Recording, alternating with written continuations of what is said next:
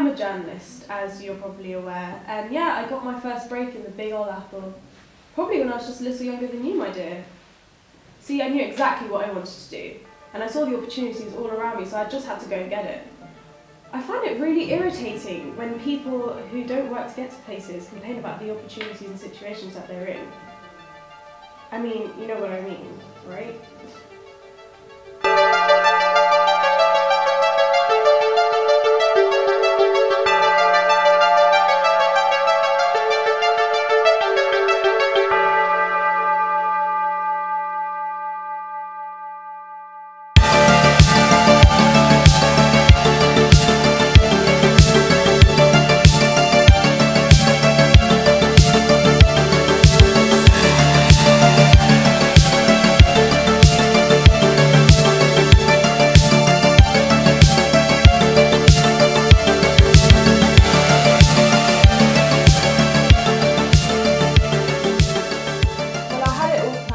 You see. That's the kind of woman that I am. I wasn't just going to marry a rich man and have it all laid out for me.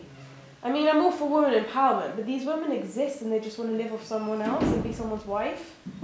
Yeah, sure, have your kids, raise them and all, but what about your own life? That's why I don't speak to my girlfriend from school.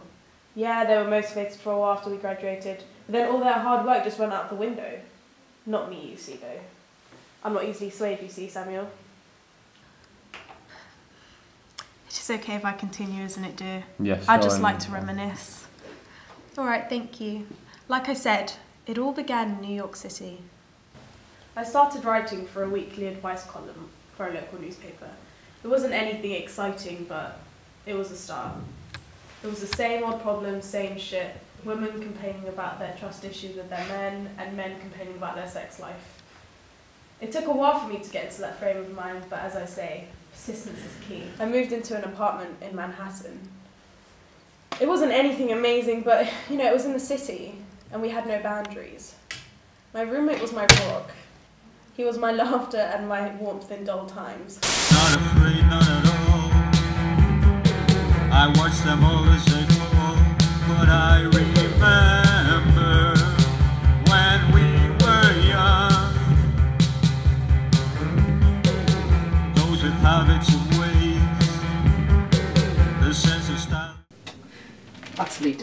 disgusting. What is? Oh, um, it's a, it's a headline in uh, this. Let's see.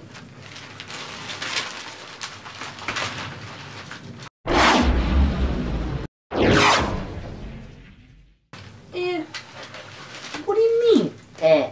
I just don't see the big deal. They're basically sensationalising a well-known fact. Hyperbole is a classic journalistic practice, my simple Joshua. They should basically have a headline saying, the sky's blue and this should scare you. Yeah, but like they're writing what's very obviously an opinion piece as fact, and when you start doing that, you get into some dangerous territory. Well, if you see it as an opinion and not a fact, then I guess so, but it doesn't necessarily get my barren ovaries in a twist like it does yours, Joshua. Uh, but it should. Well, it doesn't, so what are you gonna do about it? Uh, I met Joshua at a bar where he worked when he was only 18. He, like me, wanted some independence and he couldn't afford to pay rent on his own, so we decided to move in together. He'd hit a bit of a dead end, really, working at this bar, and to this day I never really knew how he ended up there. I never learnt his surname. He had rules, you see. Certain questions which were never asked, regarding family and just stuff like that. They were alive, he assured me. He just didn't need them around anymore. I'm guessing their approval in his lifestyle was a benefactor in their falling out.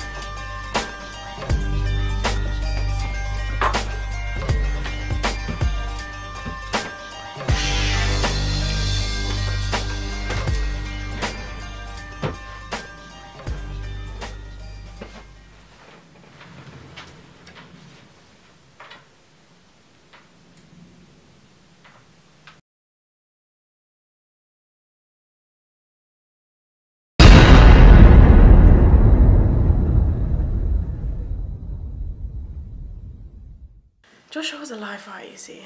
A little bit like Alistair, but untamed. He wasn't physically violent, but my god, that motherfucker could throw a tantrum. Joshua's dreams changed every week, from actor. I would like a burger and uh, fries.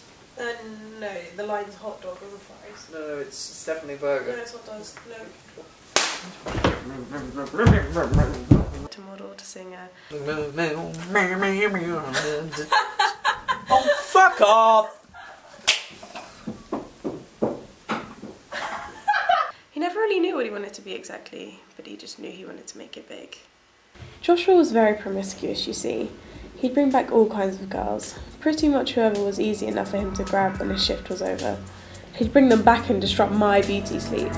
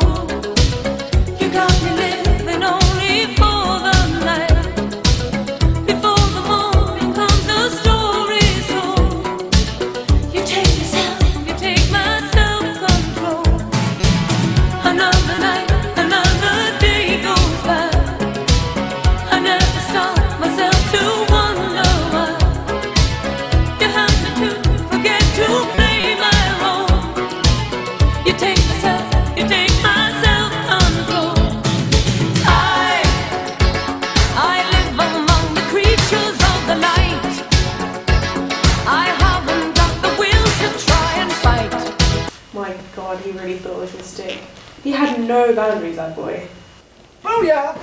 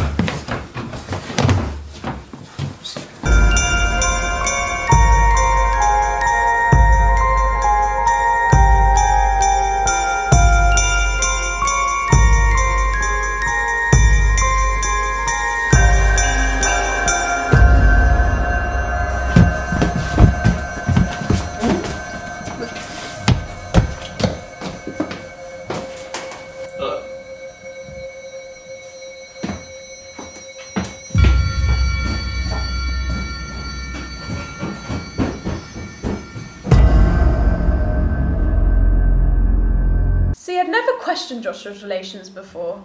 That was his business, but now he was just being careless. Every headline was talking about the gay plague, and now he decides he wants to be adventurous? He dare risk his own health and potentially mine. I was not going to tolerate it. No way.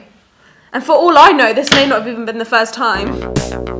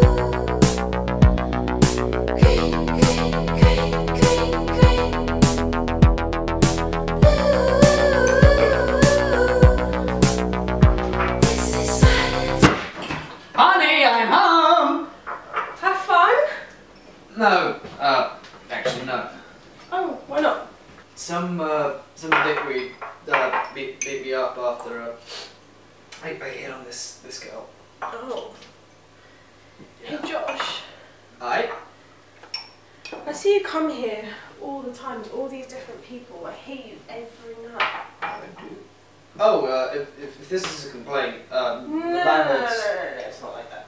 I was just wondering why you never tried it on with me. Oh, um, okay. Luna, uh, I, I respect you as a person and as a woman, and I don't want to ruin what this is. Uh, I, I, guess a good way of, of saying it is like, I care about you too much, so I don't want to fuck you. Yeah, that that's pretty. That's a pretty poorly worded account of what I'm trying to say, basically. I'll see you Josh. I'll, uh, I'll try, but hmm. no, no promise, promise, promises. Fuck. I left a few days after I'd found out I'd paid the rent for the next month. I packed my things and I went. Several weeks later, I'd heard that his drink had been spiked and poisoned. He was just so careless, he didn't know how to look after himself or be responsible. I warned him still, but I was so long gone from New York at this point. I'm so sorry to hear that, Luna. It must have felt horrible to hear that after you had left. It's alright, dear. My only regret is that I didn't help him more. I was five years older than him. I should have helped him get a new job, keep him out of that damn bar. I'll never forget him though. And whilst that was the end of his life, my own was just starting to get rather fulfilling.